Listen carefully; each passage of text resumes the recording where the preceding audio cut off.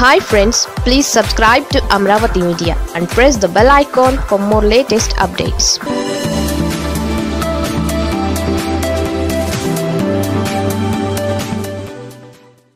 ఈ వైసీపీ ఎమ్మెల్యేకు మహర్దశ పట్టనుందా? ఆంధ్రప్రదేశ్ ముఖ్యమంత్రి జగన్ తన మంత్రివర్గాన్ని విస్తరించనున్నారు. మంత్రివర్గ విస్తరణలో అనేక మార్పులు ఉంటాయంటున్నారు ఎన్నికల కేబినెట్ కోసం జగన్ ఇప్పటి నుంచే కసరత్తులు ప్రారంభించారు. సామాజికంగా రాజకీయంగా విధేయత హామీ వంటి అంశాలను కేబినెట్ విస్తరణలో జగన్ పరిగణలోనికి తీసుకుంటున్నారని చెబుతున్నారు. అయితే ఇందులో ప్రముఖంగా ఈసారి వినిపిస్తున్న పేరు ముస్తాఫా. ఈసారి కేబినెట్ విస్తరణలో ముస్తాఫాకు ఖచ్చితంగా మంత్రి పదవి దక్కుతుందన్న ప్రచారం జరుగుతోంది. ఆయనకు మైనారిటీ కోటాలో మంత్రి పదవి ఖాయమైందని చెబుతున్నారు. మైనారిటీలకు తన పాలనలో పెద్దపీట వేస్తున్న జగన్ ఈసారి ముస్తాఫాకు తన కేబినెట్లో చోటు కల్పిస్తారంటున్నారు. ఇందు కారణాలు కూడా లేకపోలేదు. ముస్తాఫా పార్టీని జగన్ను నమ్ముకుని ఉండడమే. ముస్తాఫా గుంటూరు తూర్పు నియోజకవర్గం నుంచి రెండుసార్లు ఎమ్మెల్యేగా గెలిచారు.